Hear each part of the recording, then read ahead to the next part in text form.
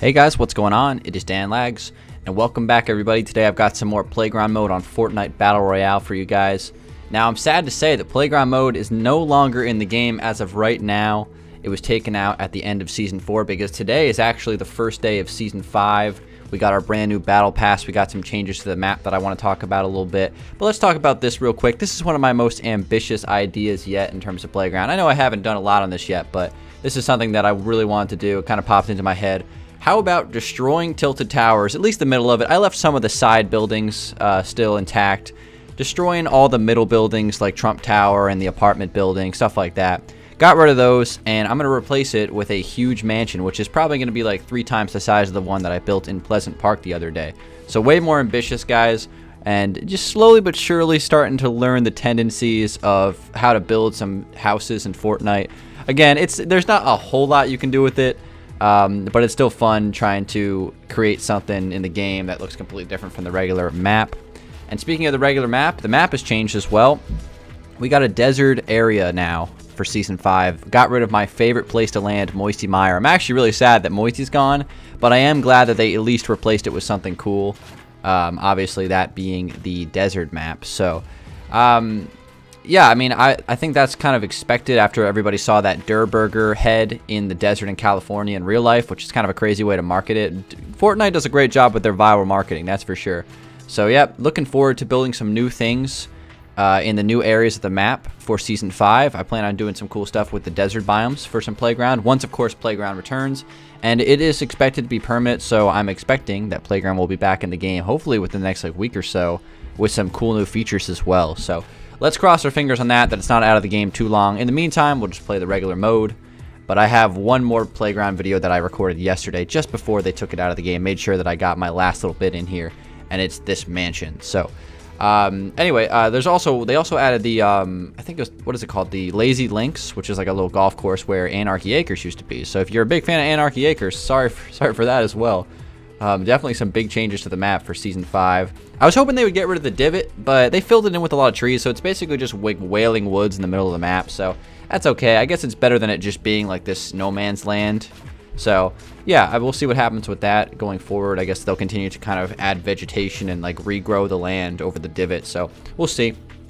But yeah, uh, building here this mansion, using a couple of different tactics that I didn't go with first episode of Playground Mode. Um, tall roof. So we just went with uh, two, I guess, ramps high on the roof on each side, which made a four block wide exterior. Um, so definitely a lot bigger. I went with more of a symmetrical look. As you're seeing right now, I'm starting to fill in some of the sidewalls of the of each of the wings of the house, and then starting to fill in some of these roof designs. I did what I said last episode, where I actually replaced the ramp roofs with the ones that you know you edit with the triangles and that that would just worked a lot better because then I was able to edit them on the fly instead of having to you know replace the edit. So that was that was really nice. It sped up the process a little bit. And I almost ran out of time on this, guys. It took me about 20 minutes to destroy Tilted by myself, as you guys saw at the beginning. And then it took about 40 minutes to build this thing. And I'm finishing the interior of this, you're going to see in a second, right as the storm is flooding over Tilted. It's like a tsunami.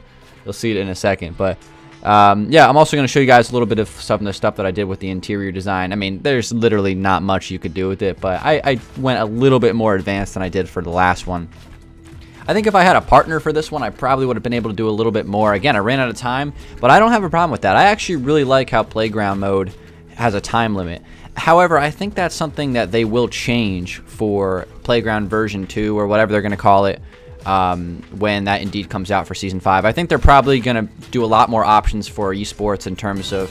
Uh, oh, I'm dancing right here. Oh yeah, it's always it's always doing the dance. See, that's the best dance in the game, by the way. The True Heart. I don't want to argue about it. But anyway, I digress.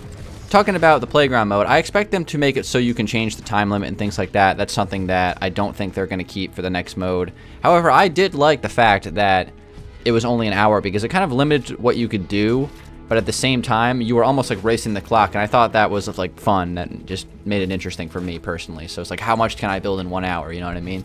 I almost think that makes the, the builds even more impressive because you knew you had to build them quickly. You know what I mean? And do some fun stuff with it. So I've seen tons of videos on YouTube of people doing some awesome stuff with playground mode, whether it be um, you know Mario Kart courses with the bounce pads and the ramps and the shopping carts, which is cool. I've I've seen Spleef as well on a couple videos, which is sweet. Um, tons of stuff, bumper cars. So the possibilities seem to be endless with Playground. So I'm hoping that, of course, they make it permanent, which we all expect them to do. They've already announced that and you know continue to add cool new features to it. Right now I'm just adding in kind of like a front foyer area using some of the wooden floors and kind of just turning them and creating almost like a balcony on the second level and then adding in a staircase below that to kind of connect to the top. But yeah, that's like kind of what we're working on here.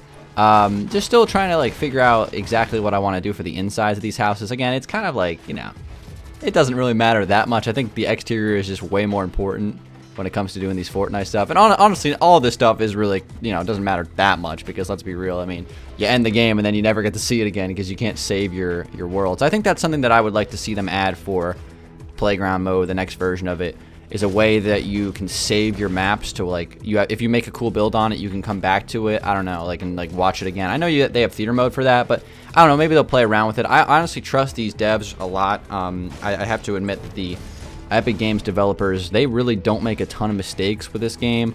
Uh, I hated the jetpack, and I, I, hated the jetpack with so much passion that I stopped playing the game for like two weeks while it was out. I just could not stand a dude flying straight up in the air and RPGing me. Couldn't stand it, so I stopped playing for a little while then. Um, and the guided missile was a little overpowered, but other than that, they've done a pretty good job making decisions. I know a lot of people hate the, how weak the shotguns are now, and I'm, I'm in that boat as well, but as far as just like overall game design philosophy, I think these guys are, are really at the top of their game. I mean, who, what other developer is, is doing this right now? You know what I mean? So it, it's it's good stuff, and I have a lot of faith in playground mode continuing to be great. And guys, that's gonna wrap up the video as we see my mansion from an outside view getting swept away by the storm. And then we got a little dizzy fly around here. Thank you guys for watching. It's been Dan Lags. Hopefully you guys enjoyed it. Drop a like, and I'll see you on the next one. Peace out.